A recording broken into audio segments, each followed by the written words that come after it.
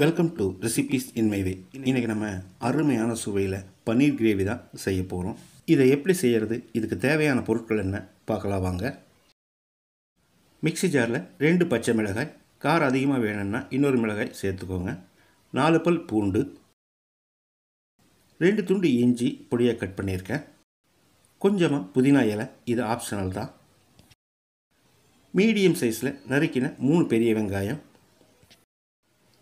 இதில் தண்ணி சேர்க்க வேண்டாம். பேஸ்ட்டாக அரைச்சி எடுத்துக்கலாம். வானலியில் மூணு டேபிள் ஸ்பூன் எண்ணெய் விட்டுக்கலாம். சின்னதாக ரெண்டு துண்டு பட்டை மூணு கிராம்பு ரெண்டு ஏலக்காய் பச்சை மிளகாய் இஞ்சி பூண்டு வெங்காயம் அரைச்ச விழுத உள்ளே ஊற்றிடலாம். அளவான தீயில் ஒரு மூணு நாலு நிமிஷம் இதை நல்லா ஃப்ரை பண்ணிகிட்டே இருக்கணும்.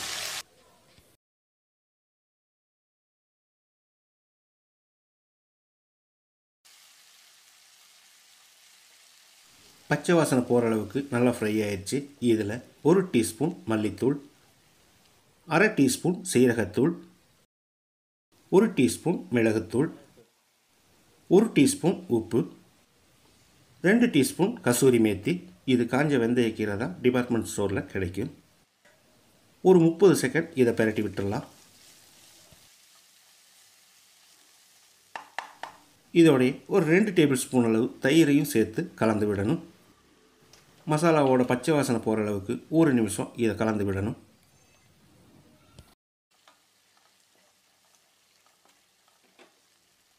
இந்த ஸ்டேஜில் ஒன்றரை கப் அளவு பால்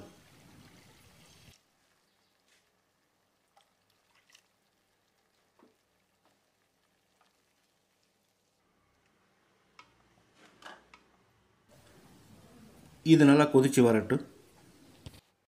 ரெண்டு டேபிள் ஸ்பூன் முந்திரி எடுத்திருக்கேன். இதில் ஒரு டீஸ்பூன் கசகசா. கொஞ்சமாக தண்ணி சேர்த்து ஒரு பத்து நிமிஷம் ஊறின பிறகு அரைச்சி எடுத்துக்கலாம். இந்த கிரேவி நல்லா கொதித்து வந்துருச்சு. இப்போ நம்ம பன்னீரை சேர்த்துக்கலாம்.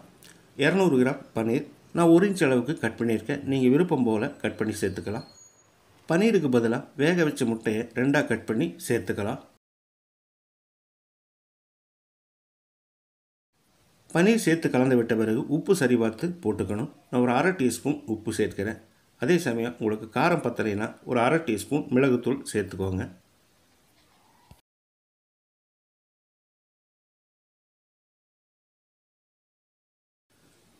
முந்திரியையும் கசகசாவையும் ஊற வச்சு அரைச்சி எடுத்திருந்தோம். அதை உள்ளே சேர்த்து கலந்து விட்டுடலாம் இதோட நீங்கள் விருப்பப்பட்டால் ரெண்டு டேபிள் ஸ்பூன் ஃப்ரெஷ் க்ரீம் சேர்த்து கலந்துக்கலாம்.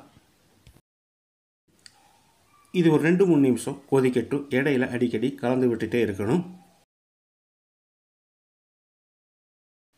கிரேவி நல்லா கொதித்து வந்துருச்சு. இதில் ஒரு டீஸ்பூன் கரம் மசாலா சேர்த்து கலந்து விட்டுடலாம் அருமையான சுவையில் சப்பாத்தி பரோட்டா நான் இதுக்கு எல்லாம் தகுந்த மாதிரி நம்மளோட மலாய் பன்னீர் கிரேவி ரெடி ஆயிடுச்சு. மல்லி இலை தூவி இறக்கிடலாம்.